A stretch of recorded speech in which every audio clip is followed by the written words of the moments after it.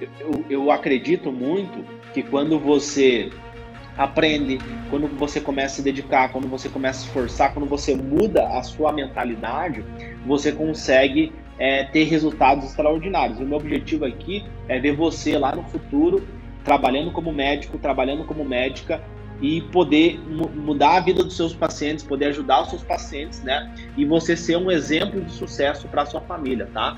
Esse é o meu objetivo. Então, coisas é, coisas que eu acredito que não vale a pena falar, eu, eu não falo, né? Então, é, Enem, essas coisas, eu acho que não, não, não é o meu propósito aqui, né? Meu propósito é falar de coisas muito maiores que vão mudar a sua vida, que vão fazer você fazer uma boa faculdade, que vão fazer você passar em medicina e que vão fazer você chegar no topo.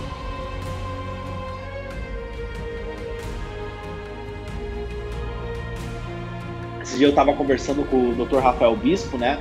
E, e aí ele fala, né, que a, a grande mudança na, na vida dele, né? Que, que ele não, quando ele era estudante, que ele não conseguia fazer e que hoje, como médico, ele consegue fazer, é, foi muito a questão dele poder ajudar os pais dele, né? Ajudar a mãe dele, ajudar a família dele a poder ter uma condição de vida me melhor, né? Porque ele morava na periferia do Rio de Janeiro e hoje ele é um, médico de sucesso, né?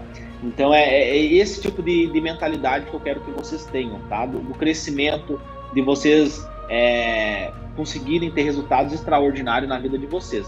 Porque diquinhas, truquinho, truque, isso e aquilo, eu acredito que isso não vai trazer resultado para vocês, tá? Então, eu, eu, sempre deixo aqui, né, no, no, na minha, aqui no meu cantinho de estudo, eu sempre deixo aqui a minha carteira de trabalho, né? Porque quando eu olho para ela, eu lembro de todas as dificuldades que eu passei, né? Quando eu não tinha dinheiro nem para conseguir comer direito, né?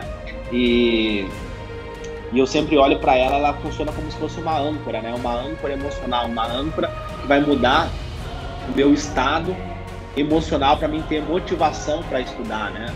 Para mim conseguir atingir os meus objetivos, para mim conseguir é, ter mais foco nos estudos né, e lembrar do meu propósito, tá? Mas enfim, então essa, essa daqui é a minha carteira de trabalho, né? Quando eu tinha 14 anos, eu comecei a trabalhar no supermercado, né? Depois, com 16 anos, eu fiz ali, eu assinei a minha primeira carteira de trabalho, então comecei a trabalhar muito cedo, né? Eu, eu saí de casa, inclusive, com 14 anos, porque a minha mãe era empregada doméstica e não tinha condições, né, de, de sustentar a casa. Eu tinha mais dois irmãos, então nós éramos em quatro pessoas, minha mãe não tinha condições, né? Ela teve que. que a, a gente morava num assentamento periférico, né? Morava num bairro bem precário lá, não tinha saneamento básico, ela teve que ganhar uma casa lá da, da prefeitura para ela conseguir morar porque ela não tinha condições de pagar aluguel. Então eu tive que começar a trabalhar muito cedo, né?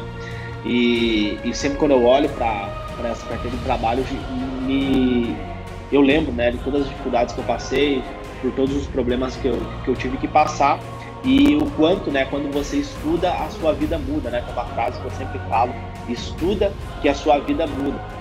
Então é magnífico isso, né? Que quando você se dedica, quando você se esforça, tudo começa a mudar na sua vida, né? Então, esse é o meu propósito aqui, é mostrar para as pessoas que, independente se você veio de baixo, se você não tem condições, você pode sim atingir qualquer resultado que você quer, tá?